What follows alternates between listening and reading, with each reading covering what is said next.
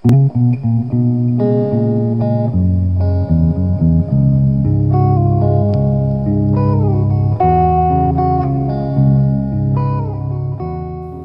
guys, we are back with a card from my art journal in a box. I have another card that I did a background on as part of my background experiments video. I never finished it, so we're going to finish it today. And I have more of the old book text and dictionary pages that I did not use on the iCAD. Here's a piece of sheet music I found. So I might use some of that. I also have a couple of bits from Louisa from Australia. Again, they, these came in the same envelope as the flowers I used on the Rolodex card. I, I really love this and this too, so I'm going to see. This for sure is going to go on the page. I don't know about this, but we'll see. I also have this from Margaret Trevino. This is going to be the saying on my page. I love this, Margaret. Friends just because. I do have to say I do think I'm going to cut it and make it so it's not a corner because it doesn't really work on the page as a corner, but this is going to go on the page. I know that for sure. And I have a little piece of the leftover part of a painted envelope that Miss Peta Thompson sent me some happy mail in. I love the colors that she put on here, so I'll probably use some of that on here too. All right, I'm going to speed through this and I'll be back.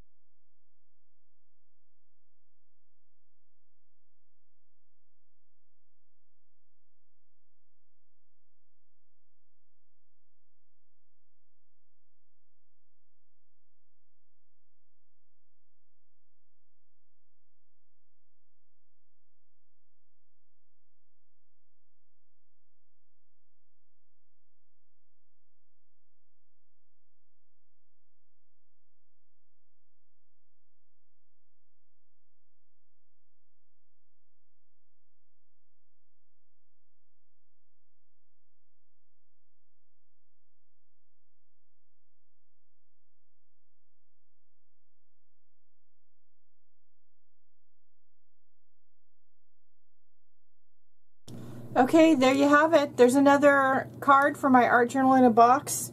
Friends just because. I love that.